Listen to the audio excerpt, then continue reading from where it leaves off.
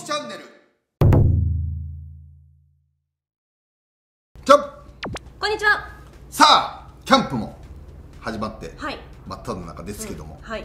今日からやります、毎年恒例のサバイバルポジション、はい。はい、っていうところでね、新庄さんが言ってましたコメントで。はい。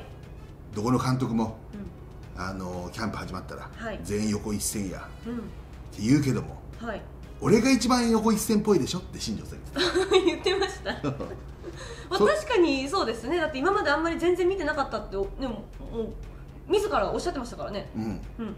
それでもよ。はい。本当に横一線じゃないんだよ。そうですか。まあそれでも気になる選手っていうのはいるでしょうね。やっぱり。いるし、うん。もうだってよ。うん。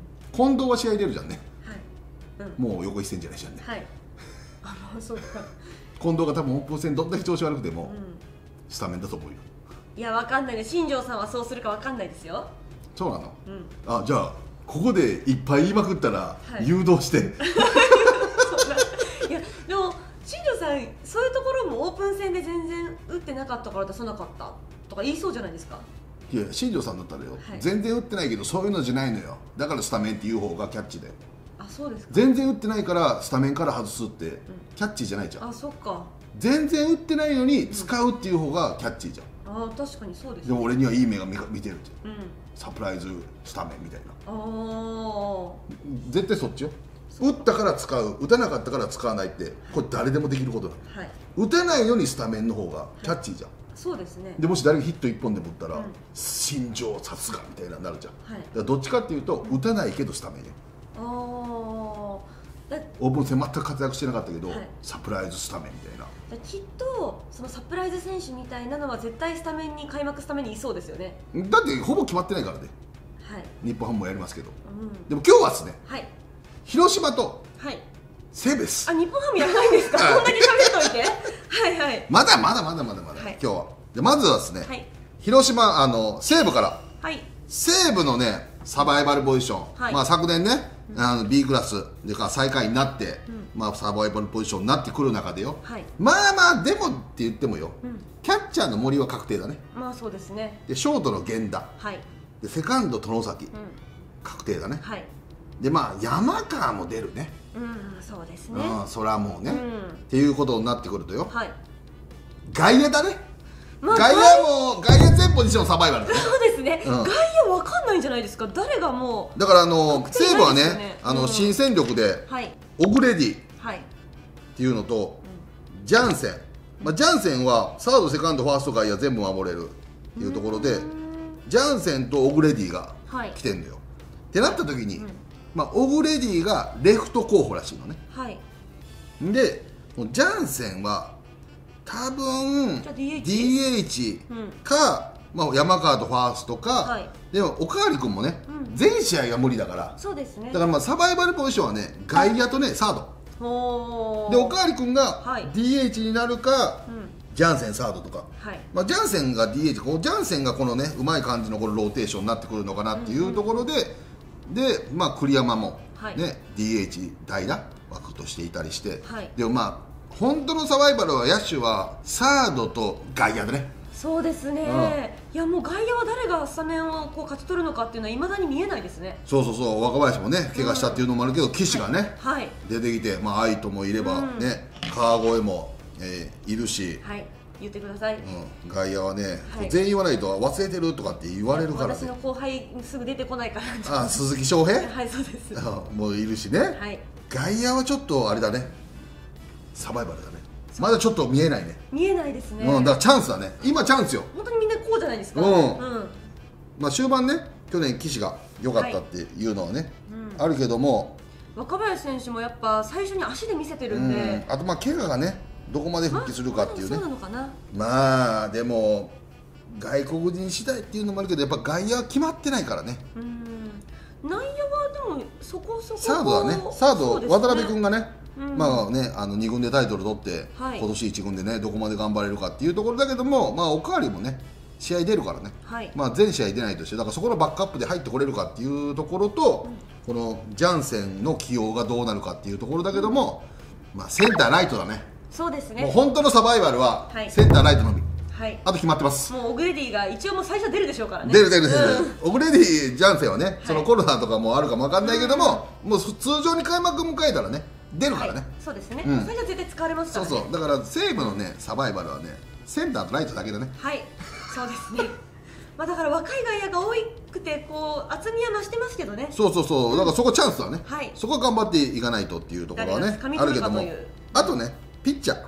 サバイバルです、ピッチャーだって、まあ、決まってんのはよ、はい。多分先発高橋今井、うん。あ松本はい。はもう確定やと思うんでそうですね。ローテーション、うん。この3人は。はいであと3つがサバイバルだね。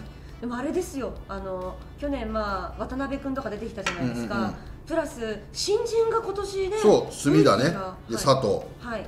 まあ先発じゃないけど某高橋、はい、ね、投手っていうのもいるしまあ渡辺隅田佐藤、うん。左と浜谷とか、うん、うん。あとまあ佐々木、まあ、はい。崖っぷち選手でも言ったけども、はい。とか與座うん。とか本田うん。っていうところがまあ先発は候補になってくるのかな。先発は残りまあでも先発は3つあるね、はい。3つはもう多いね。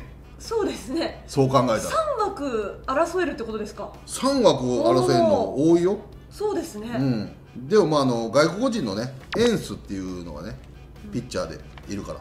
エンス。そしてね、はい。あのスミス、スミス。はい、っていう2人のねあの外国人投手がいるから。はい。エンスはね先発。おーっていうことはじゃあ最初入ってきますね。入ってくうん。このスミススミスは何なんだろうね。1月18日の報道で。はい。リリーフだな。リリーフだからエンスが入ってくる。だから2人。うん。2人に渡辺とか隅田君とか。はい。そこら辺の新人も含めてうん。勝負だね、でもはい2つは、二つ空いたら結構だからね。そうですね、うん。でリリーフがリリーフどうやろうな。まあ平でしょ？はい。平確定でしょ、うん。でこのスミスでしょ？はい。取ってきてるからね、はい。で竹熊とかうん。水上とかはい。森脇うん。雲戸上。リリーフ結構いるで宮川。はい。増田。名前挙げとかないと怒られるからね。佐野。誰々が出て田村なかったってね。田村。リリーフ1つか2個ぐらいだね。はい。勝負だね、うん。まあ、絶対確定してるのは平。でこのスミス。はい。で突き抜けてるのがやっぱり平投手。平スミス。あとまあ水上。あまあそうそうそうですね。去年終盤で、うんうん、よかったからね、うん。それと竹熊、はい。ね。これはもう絶対確定やろ、でもそう思うとまだこう争って入れる枠っていうのありますね。うん、そうそうそう。だからまあ2個。2個だね、はい。うん。だから先発にリリーフにはい。でセンターライトはい。がサバイバルです、はい。まあでもそれだけまだ枠があるっていうことですからそうだね、チャンスですね、うん、でも最下位だからねそこら辺の枠をしっかり埋めていかないと、はい。やっぱ上に行けないからね、うん、選手にとってはチャンスってチャンスチャンス。だからち結構チャンス多いね、はい。サバイバルイコールチャンスですね、そうそうそうそう、うんでもほぼがっちりかまね内野とかがっちり固まってるね。はい。内野熱いですね。うん、うん。だからその熱いところの選手がその固定でも決まってサバイバルじゃないポジションの人がしっかり結果出していかないと、うん。その弱くなんだよね。はい。サバイバルはないだけにね、うん。だから山川とかがね結構大事になってくるのかなっていうね。今年活躍できるかと、うん。さあは続いてはい。広島。広島見ていきましょう。はい。広島のねサバイバルはねセンターだけかな。鈴木誠也選手がうんいなくなってでもこのね、うん。あのマクブルームっていう新外国人ね。新外国人選手をね、はい。あのー取ってうきてるからね。だからそこはまあ埋まるじゃんね、ん、うん、こうね、はい。まあキャッチャーがね併用だからね。そうですね。サバイバルっていうのも、で菊池小園でしょ、はい。多分サード林は使うと思うんだよね。うん。去年の感じからするとね。ですね。で西川。でセンターね。野間とかウグサとかいるから。でも坂倉選手はじゃあファースト？うん。まあキャッチャー本人やりたいけどだからまあ併用だね。そうですね。うん、結局は。でこのマックブルームもファースト守れるらしいから、はい。この外野の守備見ながらまあ併用だね。そうか坂倉選手がキャッチャーの時はうんファース誰かがこうトに来る、ファーストうんまに来たりとかうん。まここがファースト来て外野誰か出てくるかも分かんないから、まあ外野一枠サバイバルだね、うん。そうか西川選手はまあ出るだろうと。まあ西川はね、うん。多分あの確定でしょ、はい。普通に考えてね。でもセンターがまあ野間とかね、うん。うぐさはい。とか。うん。正髄がねはい。あの鈴木誠也の後釜私がやりますって言ってるからね、うん。であとはまあ松山をファーストかな、はい。とか。だからもし坂倉キャッチャーやった時に松山ファーストっていうのもあるけどね、だからまあセンターだけだね。もうそうですね。なんか結構スタメン固まってますね。うん。うん。多分まあ小園と林は去年良かったからね、はい。多分スタートは使うと思うんだよね、だからそこはまあね普通通りの活躍できるかどうかっていうところは、まあポイントっていうところにはなるけども、はい。まあ西川も多分ね普通に言ったら使うし、はいだからセンターだけだね、うんそうですね。一個。一個。そ きつい外ね野ね。何気にノーサバイバル。おー本当に。ノーサバイバル、へえまあ、そういうのもあるのよもうね、はい。さ横一線って言いながらもうだって菊池が横一線なわけないじゃん、そうですね。まあどうやっても出ますよね。うん。センターだけだね。うん。いやでもねピッチャーがねはい。先発栗でしょ？はい。大瀬良、ん。森下、んまあ床田も怪我なかったら俺はもう確定だと思うんだよね、はい。森翔。新外国人のアンダーソン。はい。先発。おお1個だね。一個。先発。枠。だってはい。森下、はい。大瀬良で栗あ投手。栗、うん。でアンダーソはい。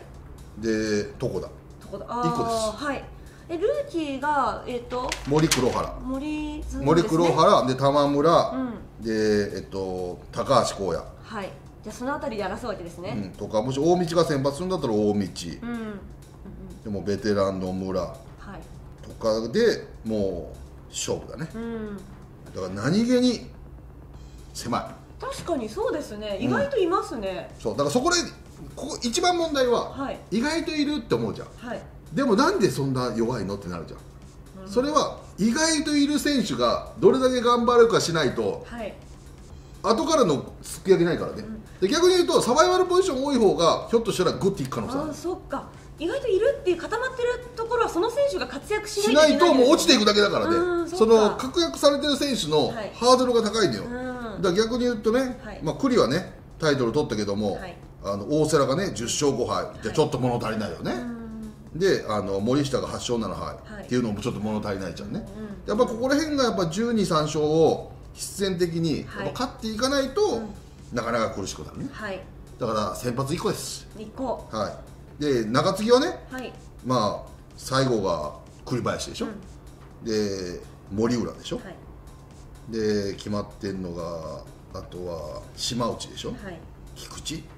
堀江、でこのターリー、うん。ケムナ、はまあ、ほぼほぼ中継ぎ。いいますね。うん、でも絶対的なのはまあ栗林、堀江投手？うん、で森浦、うん。島内。うん。ターリー。1個やな。でコでコルニエルもいるからね。でフランスはもういるから。はい。野手1人しかいないんでしょ、はい。外国人使うのは、はい。このマグブルームん。でしょ、でアンダーソン、はいターリーでフランスはコリニエルだから。うん。全員これ使うから。リリーフはもうフランスはコリニエルターリー入ってきたい、うん。栗林森浦堀江もうリリーフだよいしょ。う んない。多分つ使ったらね、はい。外国人3人を、はい。使ったらもうポジションで島内もいるし。ポジションだ。もまあう、外国人選手はねあれですからね。本当に全員がいいとは限らないですからね。でも使うじゃん最初。使いますね。はい。だからノーサバイバルじゃん、はい。あだからあの競って上がるっていうよりも落ちてくるの待たなきゃいけないん。そうですね。ダメだった時に入れるようにしとかないといけない。だからね広島はね意外と枠ないですね。センターと先発1個だけです。おー。少ない。ノーサバイバーだよ。はい。まあまあまだ枠があるだけ。うーん ないに等しいけどね、はい。まあでもね、うん。昨年、はい。そのね小園とか林とかね坂倉もそうだけど、この若いところがサバイバルを勝って掴んだから、うん。まあ、若いやつが掴むとノーサバイバーになるじゃんね、はい。これ毎年サバイバルが毎年サバイバルが多いっていうチームダメなのよ。逆に。だってその、うん。誰も勝ち得てないからサバイバルなわけでしょ、はい。そういった意味では若い選手たちが勝ってきてるね、うん。だからピッチャーでも、まあ、森下とかでもそうだし、あとはあの森浦とか、うん。栗林もそうだけども、そういったところを若い選手たちがしっかりノーサバイバルにしてるっていうところは成長の、うん。やっぱこうね伺えるところだから、チームとしてはサバイバルからのサバイバル少ないはいいことだからね。ああそうですね、うん。サバイバル勝ち抜いてこうなっただけですそうそう。一番きついのが、はい。ベテランばっかりのノーサバイバルが一番きつい。これちょっと危ないね。一気に世代交代した時がやばいね。ちょっと傾向から考えるとね、うんはい。だからサバイバルはセンターだね、はい。でまあ、キャッチャーは併用だし、うん。まあ、それによって坂倉が動いた時に誰使われるかっていうところの2番手サバイバル。はい。ファースト。ファーストライトの2番手サバイバルだね。はい。ファーストライトの2番手サバイバルとセンターのサバイバル、先発1人。うん。リリーフはほぼない、はい。もうまあまあ。まあまあね、うん。まああとはねこれを見てよくわかるのが、はい。外国人次第です。かそうですねねうん外国人うん次第ですね、はい。まあ、というところでね、はい。まあ、こういうところ見ながらね、うん。キャンプをねみオープン戦見ていくと楽しいと思うんでね。はい。また明日期待してください。はい